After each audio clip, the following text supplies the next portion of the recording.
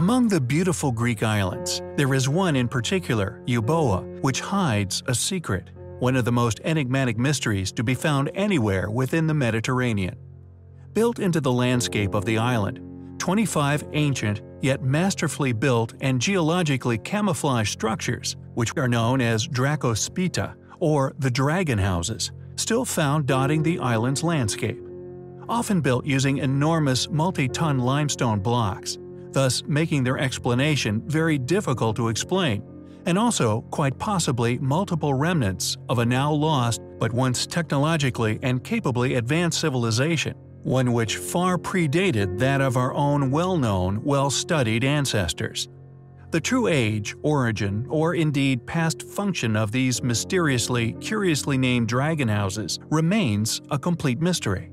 Now found in varying degrees of decay, yet the substantial erosion present in some areas of some of the dragon houses is indicative of a civilization far predating any known, or more specifically, academically permitted groups as having once been responsible. Researchers working for Ancient Code have posited that many of the surviving dragon houses were built using, quote, Cyclopean masonry, and after exploring the curious structures ourselves, we seem to concur with this opinion. Yet the mystery as to why these buildings were made in the first place, the motivation for their curious creation, still remains. According to said research, the locals dubbed the structures dragon houses, this because local legend telling of attributes in which their creators possessed they were supposedly bestowed with superhuman powers.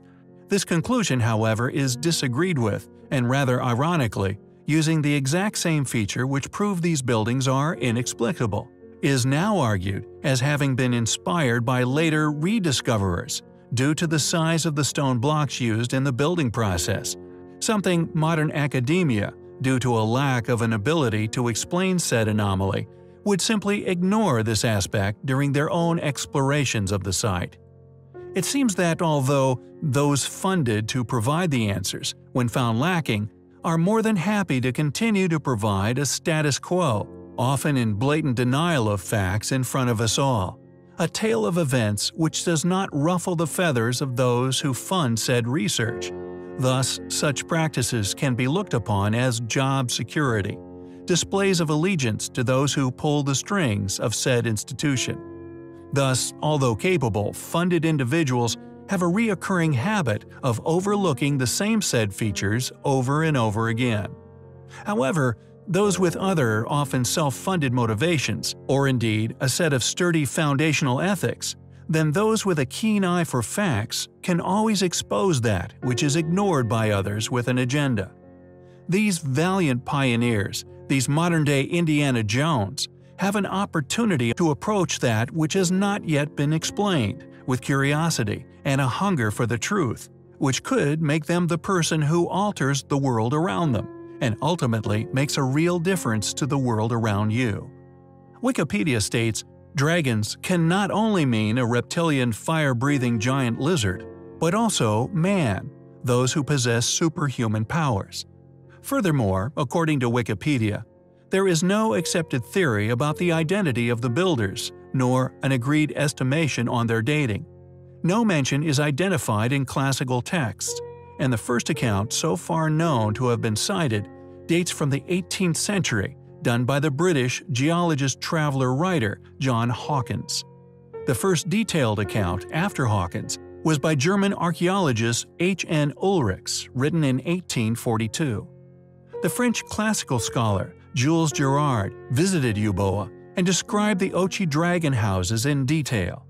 In 2010, Swiss archaeologist Karl Reber successfully tracked down all to-date reported buildings, subsequently published a report upon the completion of his research.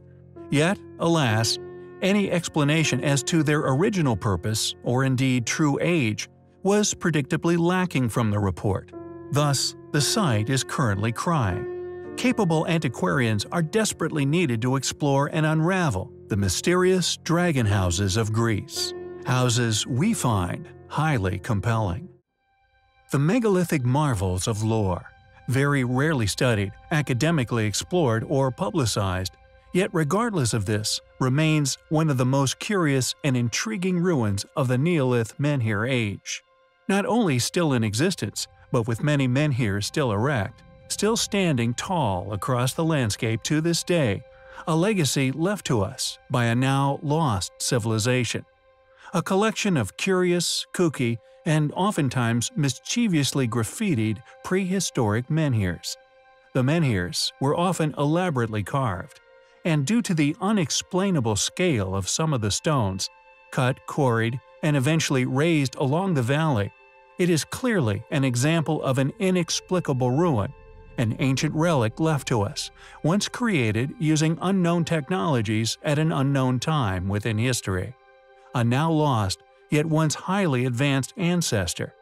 Impossible for the current academically claimed culture, which is clearly a fallacy within modern paradigm. Some of the inexplicably huge stones incorporated into these sites are now being found scattering our planet. Like that of the Plain of Jars located in Laos, an unusual, enigmatic site we have also covered in the past, possesses stonework from megalithic blocks of inexplicable sizes.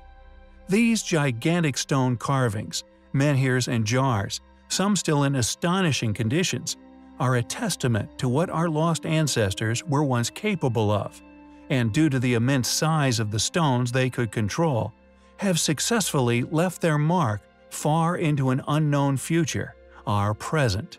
The channel feels a duty, clearly as a far less capable civilization, that we do not withhold the evidence for their existence, which has been a great disservice to those who deserve the truth. Multi-ton menhirs are located all across the Bada Valley, but not just the Bada Valley. Menhirs can be found across the globe, located in many countries, even in New Zealand in Rodney County. The erosion of many of the world's menhir stonework, we feel, is indicative of incredible aging, and as such, possibly from the same era as the Bada Valley's mysterious menhirs. Yet regardless of whoever made these sculptures, there will never be any academically admittance to the evidence that these particular stoneworkings are found all over the planet. Yet regardless of any one's opinions regarding their past use, a function undertaken at a time so long ago, we may never know the true purpose of what our distant ancestors may have been trying to tell us all those millennia ago, only time will tell. The menhirs and the henges found worldwide many now widely known about, have blown a few holes into the hull of the sinking ship that is academic paradigm.